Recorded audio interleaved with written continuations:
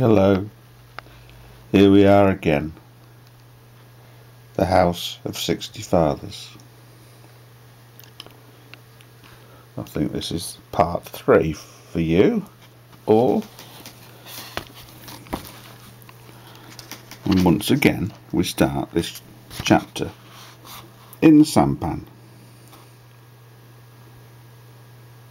Early the next morning, Tien Pao again watched his father and his mother, with the baby sister strapped to her back, clamber through the rain and up the long steep river bank. Tien Pao stood in the opening of the sampan. Remember now you promised. Tomorrow I'm going with you to the great field for aeroplanes. They did not hear him in the heavy rain. The sky was black with rain. It almost seemed as if the black sky were in the black river, and there was no sign of dawn. Tien Pao sighed and shut himself up in the sampan behind the matting in the dreary clamming dark. He looked wistfully towards the altar with the saucer lamp. But his mother had warned him not to waste oil in the long week before the Americans paid them for their work at the airfield. The little pig was sleeping.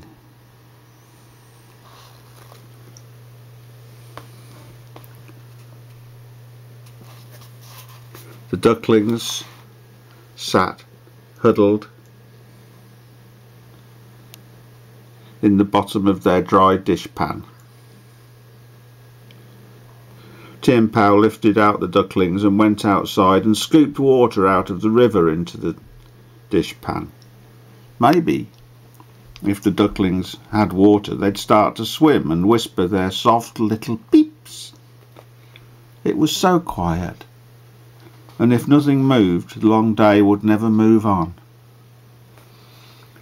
Long before a little daylight came creeping over the river, Tien Pao had dragged out the rice mill and had begun grinding some rice for the baby sister's evening meal.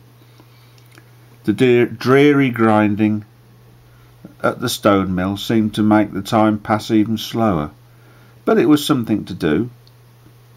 Tien Pao went to fetch another handful of rice. Later he fetched still another handful. He had to stop himself. If he ground any more, they'd all have to eat baby food for supper.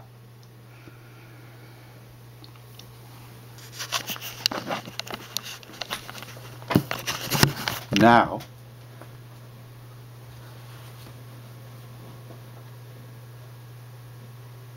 There was nothing left to do.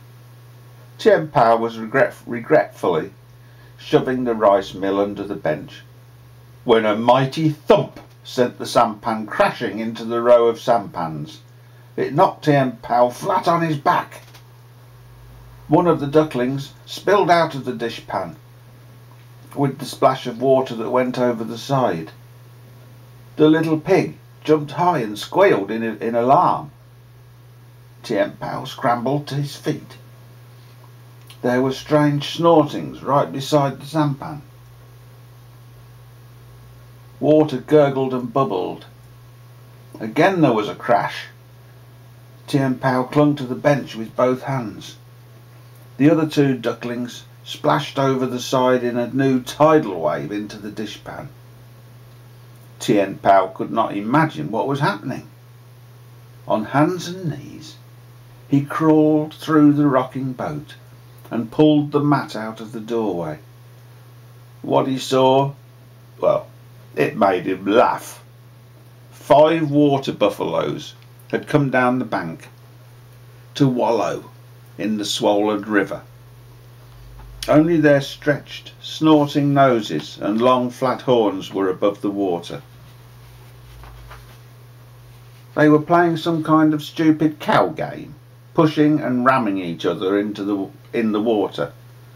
Now and again, a rammed buffalo blundered backwards into the sampan. The sampan rocked wildly on the water. They'd knock it loose from its moorings.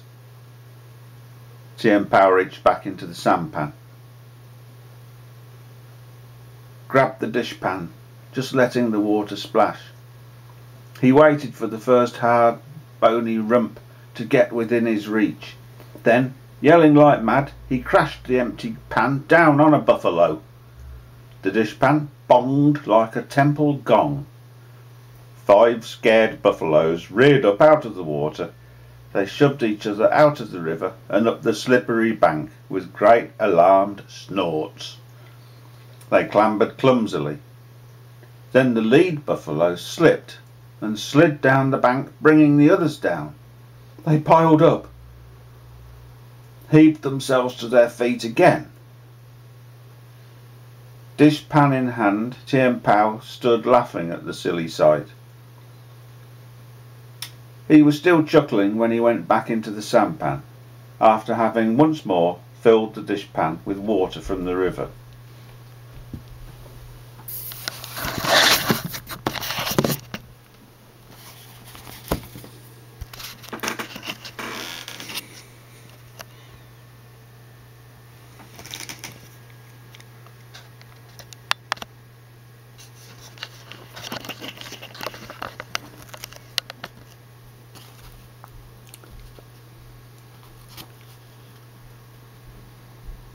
I've lost my place. He set the ducklings in the dishpan, replaced the mat in the doorway. He did not see that the stake by which the sampan was tried, tied to the bank was lying on top of the rain-soaked ground. One of the buffaloes had blundered under the rope, had scraped it over his bony back, and had ripped the stake out of the soggy ground. The rope with the stake lay loose on the watery mud. Nothing held the sampan to the bank. Inside the sampan, Tien Pao still sat chuckling. He had not seen it. Tien Pao sat thinking out just how he'd tell the story of the buffaloes to his father and mother when they came home at night. It had been fun. He was almost sorry that he had scared the buffaloes away so soon. Now the long day loomed before him again. Tien Pao sat a while. Then he imagined himself hungry. Sure, he felt a little hungry. He couldn't, it couldn't possibly be noon but it was something to do. He took down the bowl of cold rice his mother had prepared the day before and sat down with it on the floor. To make a simple meal last, he invented a game. He took the ducklings out of the dishpan and placed them around his rice bowl. The ducklings immediately began dipping their little flat bills into the rice.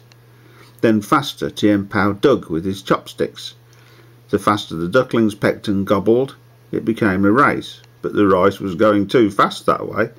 The meal had to last. Tien Pao had another idea.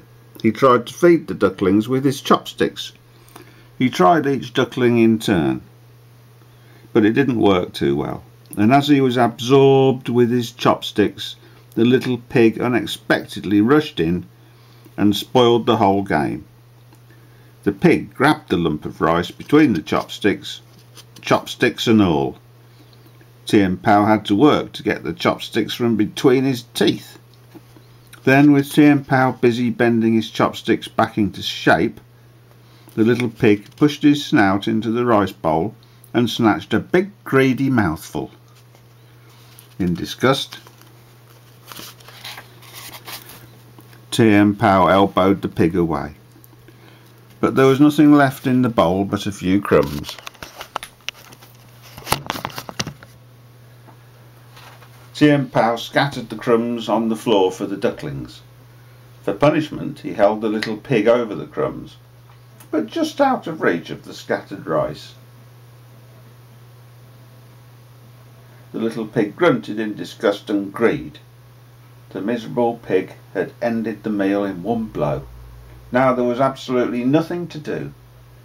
The ducklings back in their dishpan had already drifted into their huddled sleep. The pig lay stretched out on his side on the floor. Tien Pao decided he might as well sleep too. What else was there to do? Using the pig for a pillow, he too stretched out on the floor. He couldn't sleep. At least tomorrow he was going to the great field for aeroplanes. Tomorrow he'd at last see it too. The thought made him restless, kept him awake. He tried to imagine from what he'd heard his father and mother say just what an airfield would be like. It seemed a bit odd. A big grassy field for aeroplanes, as if they were horses or grazing goats.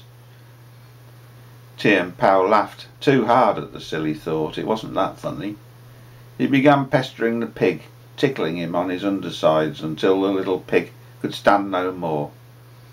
With an annoyed squeal, the pig jumped up. Tien Pao's head hit the floor. In revenge for getting his head thumped, Tien Pao made a wild grab for the pig's hind leg. The little pig squealed wildly, managed to jerk away. He raced through the sampan. Now he seemed to want Tien Pao to chase him. He must be bored too.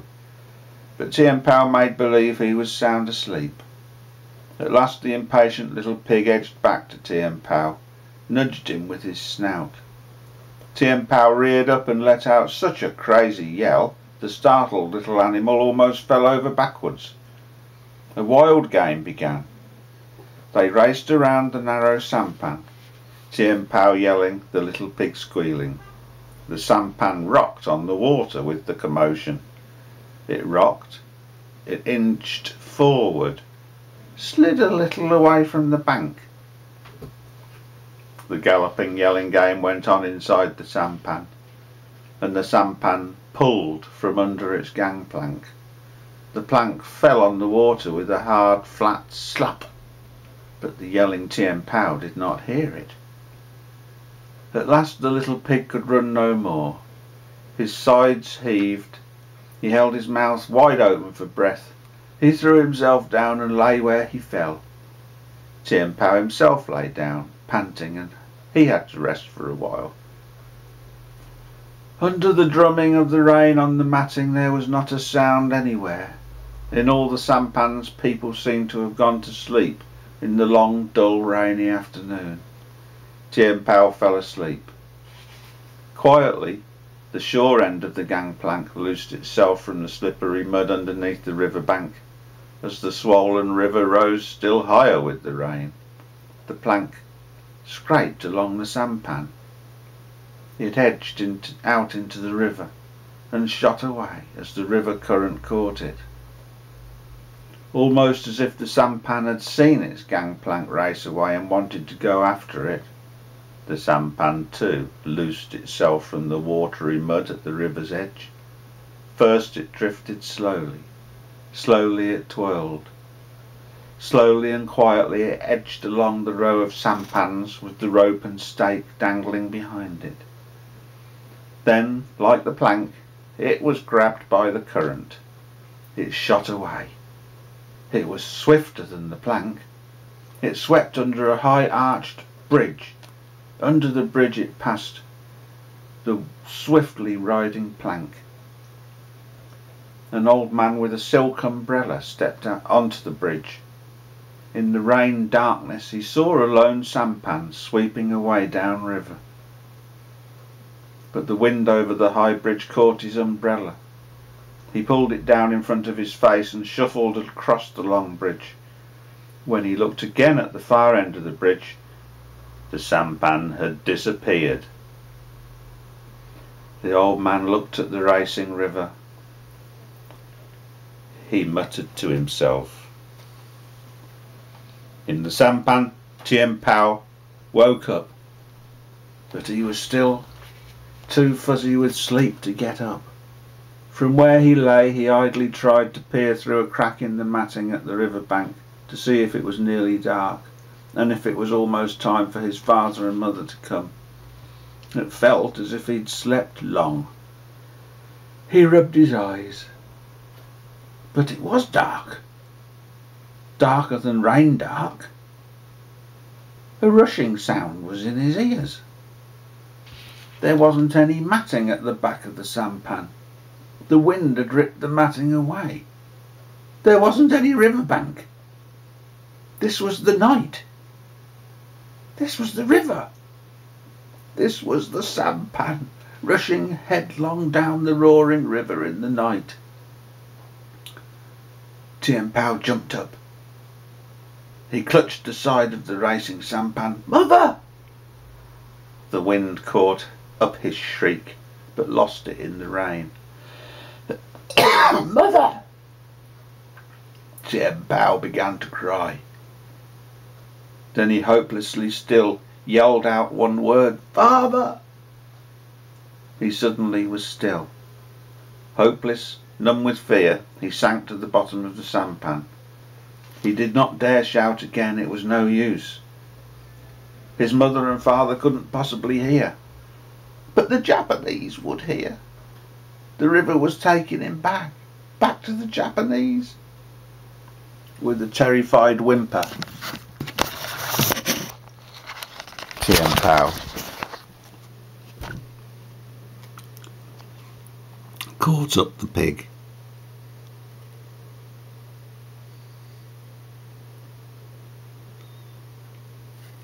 He shook the pig awake, shook him hard.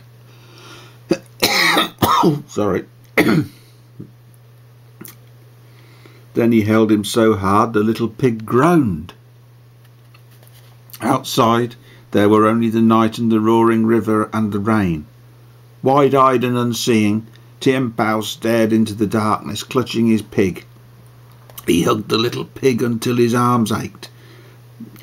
the ache in his throat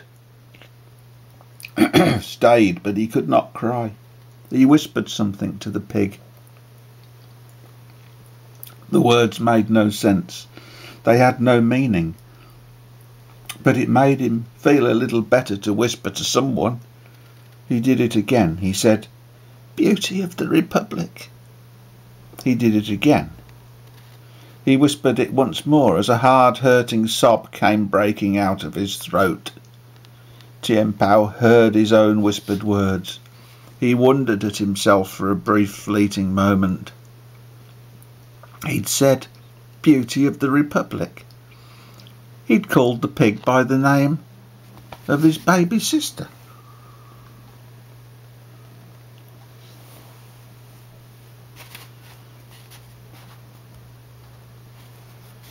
It was silly, babyish naming a pig that. No, it wasn't. It felt safer being with something that had a name. He said it aloud. Beauty of the Republic. And somehow it felt safer. But the little pig, tired of his odd position, wriggled out of Tien Pao's arms, jumped to the floor, scampered to the back of the sampan. Beauty of the Republic! Tien Pao screamed as he lunged after him. He grabbed him by a hind leg and dragged him back. The little pig let out a long, loud squeal. It scared Tien Pao. He caught the pig's snout and held it so fiercely the little pig had to struggle and scratch and fight to get breath.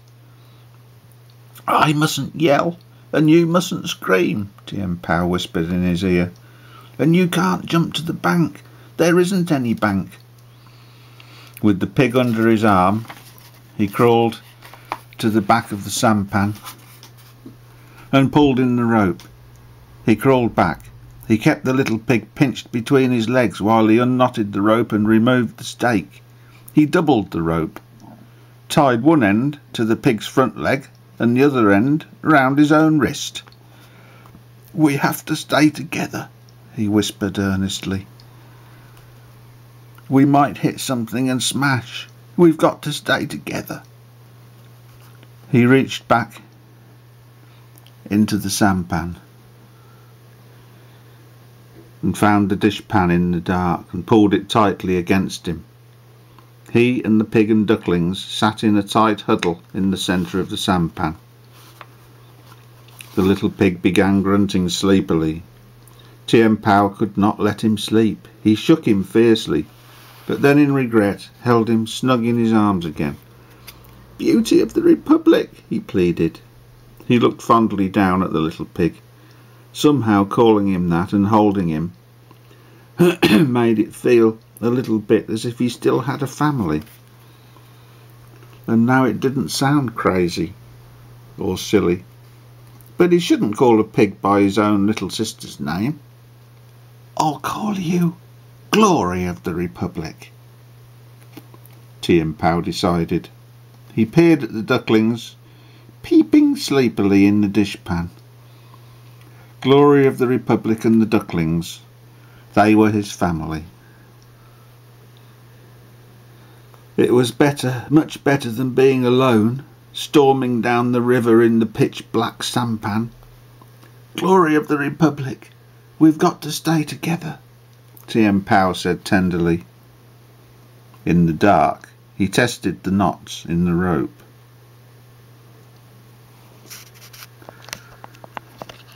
And that, I think, I'm afraid, is where we'll take our next break. But there's a lot still going to happen, I think.